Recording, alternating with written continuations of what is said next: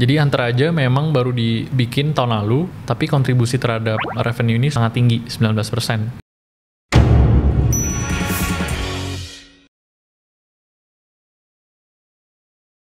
Halo sahabat Mirai Aset, welcome back to Superstock.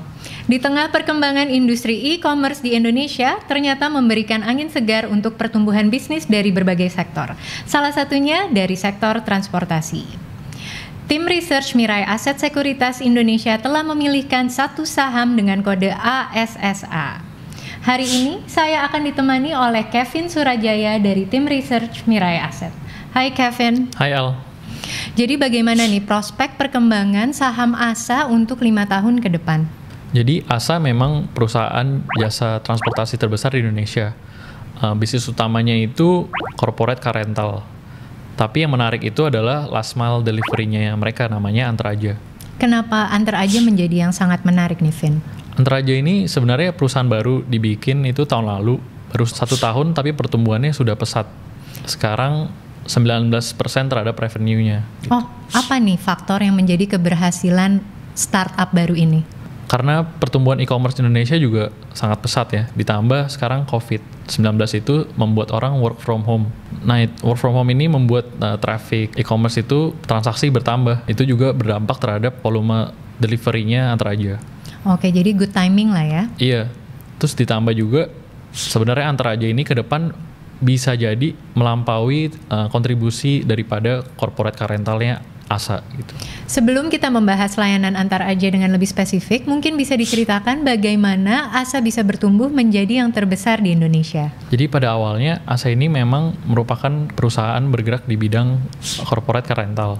Lalu mereka juga menyediakan jasa pengemudi, uh, logistik dan juga pelelangan otomotif. Tapi sering berjalannya waktu, mereka ini juga merambah ke bisnis digital. Contohnya ada share car, itu mereka sebenarnya menyewakan ke retail-retail. Habis itu antar aja, ini end-to-end uh, delivery dari ASA. Habis itu yang terakhir adalah Caroline. Caroline ini menyediakan marketplace untuk jual beli mobil. Oke, jadi yang tadinya hanya fokus di B2B sekarang mulai ke B2C juga ya? Iya, jadi lengkap banget di ASA. Tadi disebutkan bahwa corporate car rental adalah main business dari ASA. Hmm. Berapa komposisi revenue yang dihasilkan oleh main business ini? Jadi corporate car rental ASA ini sudah menyumbang 46% terhadap total revenue-nya.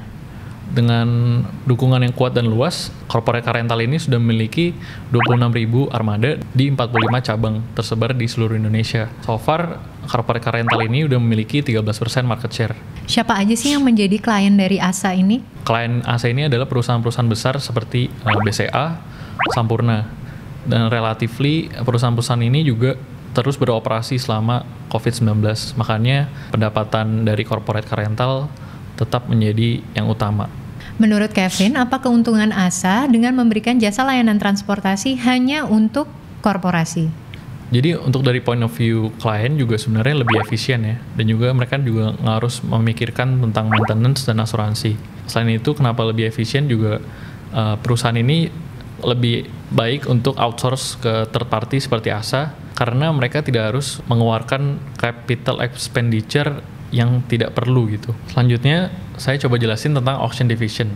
Jadi tahun lalu uh, ASA ini merge dengan JBA menjadikan ASA uh, tempat pelelangan terbesar di Indonesia.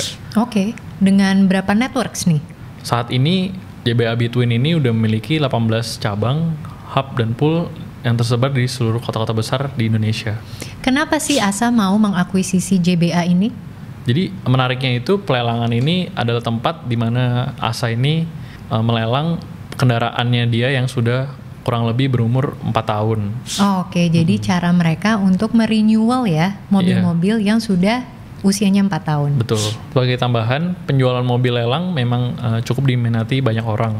Buktinya setiap tahun juga penjualan terus bertambah. Memang karena COVID kemarin sedikit ada perlambatan penjualan karena PSBB pertama itu, terutama di bulan April dan bulan Mei. Tapi sekarang uh, penjualan udah kembali normal. Tadi kita sudah mendengar tentang bisnis dari corporate car division dan auction division. Selanjutnya kita dengar dengan bisnis yang baru berkembang dari layanan antar aja.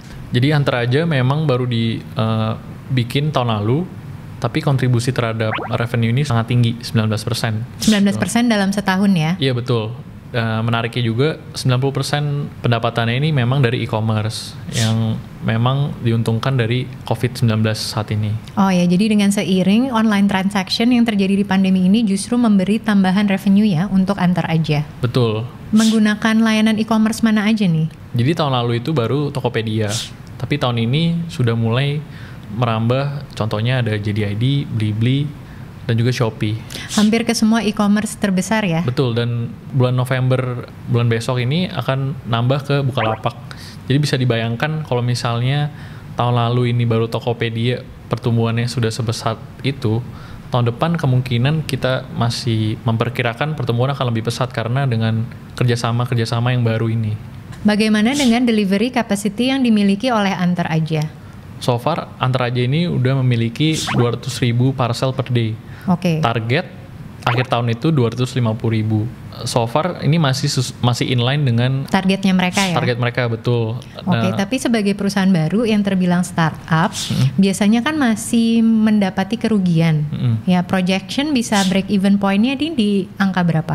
Nah ini yang menarik. Jadi tahun depan dengan kerjasama baru ini mereka mengharapkan target nya itu sekitar 300 ribu sampai 350 ribu. Per hari? Per hari uh, di quarter 1 semoga quarter 1 ini udah mulai break even gitu.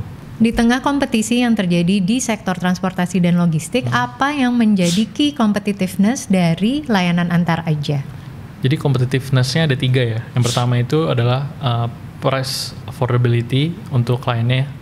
Yang kedua itu adalah customer satisfaction karena mereka ini menyediak, menyediakan pickup package untuk kliennya. Kemudian yang ketiga adalah armada yang terlatih sehingga kualitasnya itu terjamin. Tadi di awal discussion Kevin telah menyebutkan beberapa digital bisnis baru yang dimiliki oleh ASA. Bagaimana nih strategi bisnis mereka? Uh, Oke, okay. jadi yang pertama itu memang ada share car. Share mm -hmm. car ini ditujukan untuk retailers okay. yang mereka pikir akan masuk lah uh, sesuai dengan kebutuhan orang-orang kota. Oh, Oke, okay. karena bisa sharing car ya. Betul. Oke. Okay. So Terus? far sekarang udah ada 20 lokasi tapi baru di Jakarta aja gitu. Yang kedua itu Caroline ID. Ini online marketplace yang transparan dan harganya juga bersaing untuk orang jual beli mobil.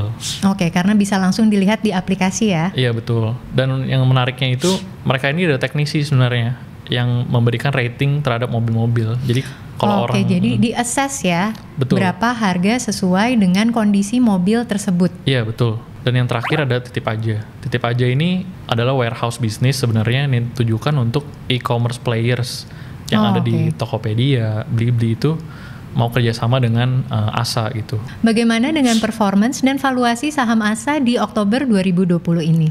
Jadi per tanggal 23 Oktober saham ASA ini trading 490 rupiah per share PI-nya itu 18. Tapi ada beberapa hal yang perlu diperhatikan oleh investor. Yang pertama itu revenue growth, yang kedua perkembangan COVID-19 di Indonesia, yang ketiga itu inisiatif uh, plannya dari ASA, dan yang keempat ada dilusi uh, right issue. Terima kasih ya Vin atas insight information terkait perusahaan ASA. Ya sama-sama. Semoga informasi yang telah didiskusikan tadi dapat membantu sahabat Mirai Aset untuk menentukan apakah saham ASA layak untuk dikoleksi. Sampai jumpa di episode Superstock selanjutnya. Happy cuan! Happy cuan!